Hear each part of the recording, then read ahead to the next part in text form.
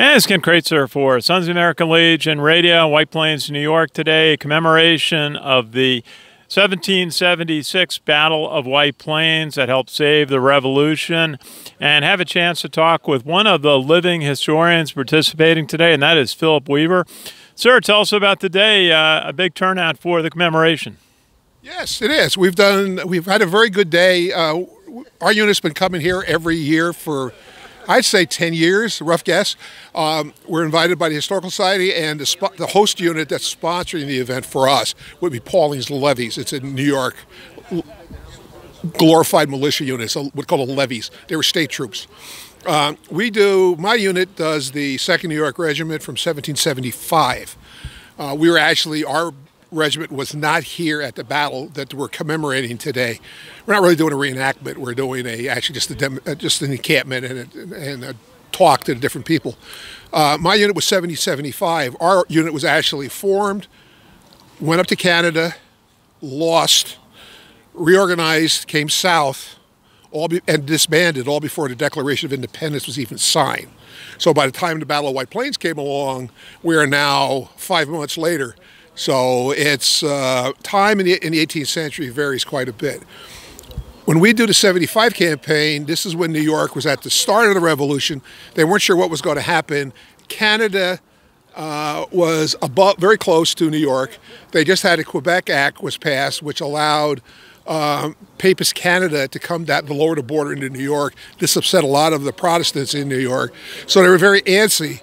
And then that little thing happened at Fort Ticonderoga up on Lake Champlain in the northern end of Lake George, where Ethan Allen and the Green Mountain Boys took the fort from the British. And as those of you who remember the pencil box, Ethan Allen, big tall guy, they invade, they took that fort. But the next day there was a problem. Ethan Allen didn't couldn't defend it. He was screaming for help. They, they found the founding companies of our regiment were actually the ones that went to his aid because he was not going to be able to hold the fort. And that got New York into the American Revolution the hard way. And that's what we're that we're that first unit with the first establishment of the Continental Army. We're actually our officers were commissioned by Continental Congress, but the men were paid by the province of New York. We were still English citizens. We celebrate the King's birthday. So it's a very bizarre time for people to do what we do. And we say living history. is a more professional term than reenacting. Reenacting has certain negative connotations. So we prefer to use the term living history. How about, sir, if I could just ask, uh, one of the things you've studied uh, the period, uh, what the soldiers went through, the militiamen, the patriots of that era. What were some of the sacrifices that they made to be serving our our our just our country in its first months? Literally, uh, it, they sacrificed a lot. Oh, they all do uh, because you're you're going in an uncertain situation. You're originally going to defend Ticonderoga, and all of a sudden somebody says we're going to invade Canada. So now you're going to Canada to attack the French, who you weren't sure if they're going to be on your side or not.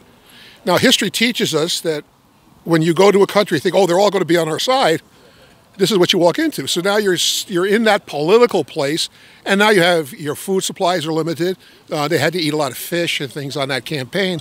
They didn't have a lot of fresh meat and things like this. So you're living in deprivation. At one point, we know the Connecticut troops were given to New Yorkers tents.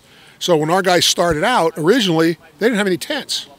They didn't go north. On, by the time they got their act together, they didn't get to the to Ticonderoga until late August. So they went north to Canada after Labor Day.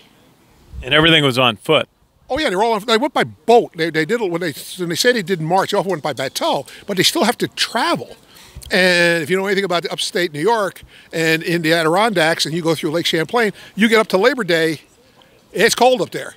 And it's getting colder and colder and colder. So when they finally went north, so they're making an attack when they should have done in the summer. They're already they're leaving in the fall. So you have immediate deprivation problems, cold, wet. Uh, you had a lot of rain. Uh, we know they had got their tents got wet. They tried to heat them. They probably put slits in the top of the tents to heat them up with fire. They did, were burning canvas. You know, everybody gets sick. Smallpox came around then. They had to deal with smallpox inoculations. Killed a number of officers and men, uh, especially at, at Fort Chambly, which was a French fort that the New Yorkers uh, held one of our officers in the, in the original Second New York we know for a fact, got inoculated for smallpox over the winter of 76 because he was given an opportunity to go home. He decided to stay. His pension, his wife's pension application files have all these letters from him. And he writes back, he said, I'm going to stay. They're giving me command of the company. The other two officers are leaving. I'm staying. And he's going to get inoculated for smallpox. Well, it worked. He got it and it killed him. He never made it home.